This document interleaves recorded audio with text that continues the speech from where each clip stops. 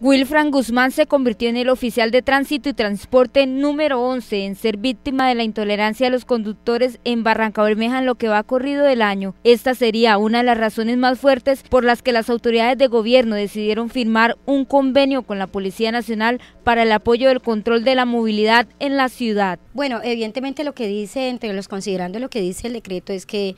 tenemos pocos agentes de tránsito. Hace algunos meses, hace un mes, fueron vinculados 13 agentes de tránsito. Sin embargo, eh, siguen siendo pocos y también hay un tema que a mí me gustaría tocar en esta oportunidad y es que últimamente se ha evidenciado mucha agresión por parte de la comunidad a los agentes de tránsito. Hemos tuvimos varios casos de de moto de transportadores informales que agredieron a los agentes de tránsito y yo creo que ese es un tema que hay que revisar y en el que en los últimos meses vamos a estar trabajando bastante en todo lo que tiene que ver con la cultura de la movilidad